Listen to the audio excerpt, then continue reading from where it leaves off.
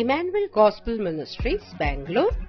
தலைமை போதகர் ரெவரண்ட் கிருபைநாதன் அவர்கள் வழங்கும் இன்றைய ஆத்மீக தேன். அன்பானோரே இயேசு கிறிஸ்துவின் நாமத்தினால் உங்களை வாழ்த்துகிறேன்.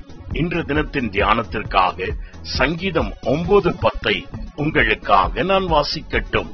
கர்த்தாவே உம்மை தேடுகிறவர்களை நீர் கைவிடுவதில்லை.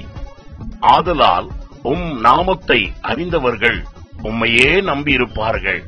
ஆம் பிரியமானவர்களே என் தேவனாகிய கர்த்தர் நீ அவரை நம்பும்படியாய் எல்லா சூழ்நிலைகளிலும் உன்னை கைவிடாத தேவனாய் இருக்கிறார். இதோ என் தேவனாகிய கர்த்தர் ஒவ்வொரு நாளும் தன்னை நம்பியிருக்கிறதான தம்முடைய பிள்ளைகளை தீமையிலிருந்து பாதுகாத்து அவர்களுக்கு நல்கினதான வார்த்தைகளை நிறைவேற்றி அவர்களை கைவிடாதபடிக்கு நடத்துகிறவராய் இருக்கின்றார் ஆம் நீதியையும் நியாயத்தையும் கைக்கொண்டு நடக்கிற தம்முடைய பரிசுத்த வான்களை ஒருபோதும் என் தேவன் கைவிடுவதில்லை. இன்று தினத்திலும் அவருக்கு பயந்து அவரையே நம்பி இருக்கிறதான உன்னுடைய வாழ்க்கையிலும் அவர் கரம் பிடித்த அதிசயங்களை செய்ய வல்லவராய் இருக்கின்றார் எதை குறித்தும் பதறாதே. அவர் உனக்கு சொன்ன வார்த்தைகளில் ஒன்றாகிலும் பிசகாதபடி அதை நிறைவேற்றும் அளவும் உன்னை விட்டு விலகுவதும் இல்லை.